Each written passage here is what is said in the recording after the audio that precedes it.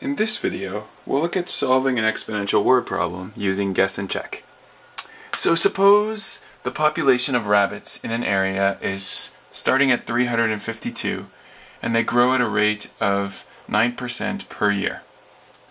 Part A, write an equation for this situation. Well, if you know me, you know I don't like as much the formula a times b to the power of x. I prefer using y equals start times change to the power of x. That's my general formula for an exponential, especially when I'm doing a word problem. And now I'm going to calculate, well, I don't have to do much calculating. The start is just 352. Same as if it was A, but I think it's easier to see there. But I'm going to have to figure out what the change is. Down here, I'll maybe show my work. The change is 100% of the rabbits plus 9%. Some of you might ask, what happens if some of the rabbits die? We assume that this growth rate takes into account that some are dying and some are being born, but overall they're growing at 9%, which means each year there's 109% of what there was last year. Convert that to a decimal by dividing by 100 or shift the decimal over 2. 109% is the same as 1.09. And that's how I get this 1.09 in the equation here. y equals 352 times 1.09 to the power of x. Great, well we've got our equation. Trickier though is when will there be 10,000 rabbits? This is the video title, Solving by Guess and Check. So I like to write try and you inform the reader, here's what I'm going to try. I don't know what the X is going to be yet, so I'll make a sort of random guess. Partly educate. I know it's not going to be 1, right? So that if I sub in a 1 here, it's not going to go up by very much. So let's try X equals 10. And I get Y equals 352 times 1.09 to the power of 10, which equals to approximately, I don't know, but my calculator will tell me, I always recommend punching in the exponent part first. Some calculators can handle the order of operations, some can't. 1.09 to the power of 10 equals times 352. And I'm going to round to the nearest rabbit because rabbits are, well, animals. And so you can't really have half a rabbit and it still be a living rabbit. But notice I'm way short of 10,000. I went up a fair bit, but not enough. So I'm going to need to try a bigger number. Let's see what happens when I try x equals, I'm going to go much bigger, x equals 30. Notice the communication here of x equals and a colon, and then here's what I'm doing. I'm subbing in 30 into this equation. I write out my work, and I'm going to put a rounding dot for good measure. Alright, 1.09 to the power of 30 equals times 352 and I get, ah, a lot closer. 4,670 rabbits approximately.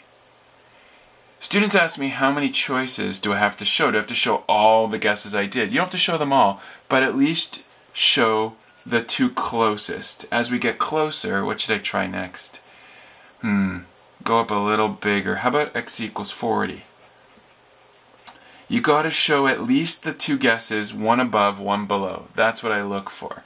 So let's try y equals. You might have made more guesses than this, so you're allowed to try them on your calculator and not write them all out. I'm showing you all my work. y equals 1.09 to the power of 40 times 352. Okay, I'm over 10,000 now, so I'm a little bit too big. 30 was still a lot too small, but 40 is a bit too big. Around to the nearest rabbit. A little less than 40. I don't think it's going to be close to the 30 side. Just looking at this number and looking at this is what I got from 40, this is what I got from 30. I think it's going to be closer to the 40 side. So let's try x equals, say, 37. y equals, again, I'm showing my work every time, even though it's the same equation show the reader what you're doing. Don't forget the rounding dot. 1.09, the power of 37 equals times 352.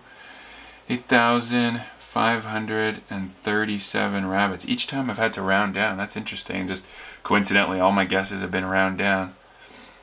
Well, it's between 37 and 40. So again, to the question of how many guesses do I have to show?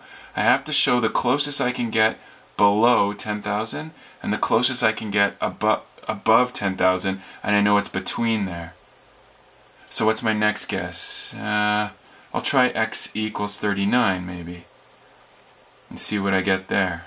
y equals 352 times 1.09 to the power of 39 which will be rounded 1.09 to the power of 39 equals times 352 again a round down but I notice I'm over 10,000 still. 10,143 so now I know it's between 37 and 39 but for full marks you got to get one above one below the closest you can get. And I can still try x equals 38 and see is that above or below 10,000 I don't know yet. Let's find out. Y equals 352 times 1.09 to the power of 38 put a rounding dot. I always do the exponent stuff first. Some calculators you don't have to but why chance it? Do the order of operations. 9 ah finally a round up. 9305.7 so round to the nearest rabbit is 9306 so I showed you all my work, but on a test, you'd have to show me at least these two. If you want to guess and check on your calculator first till you get closer, that's fine, but you need to at least show the closest whole number below 10,000 and the closest whole number above 10,000. And now you're there for a statement. What was the question? When will there be 10,000 rabbits? Answer, there will be 10,000 rabbits in 38 to 39 years. And we've done it. We solved an exponential word problem using guess and check. We first wrote an equation for the situation, and then we did guess and check until we got close. You absolutely have to show at least two guesses, the one whole number closest but below, and the other whole number closest but above the target you're looking for. And that's it.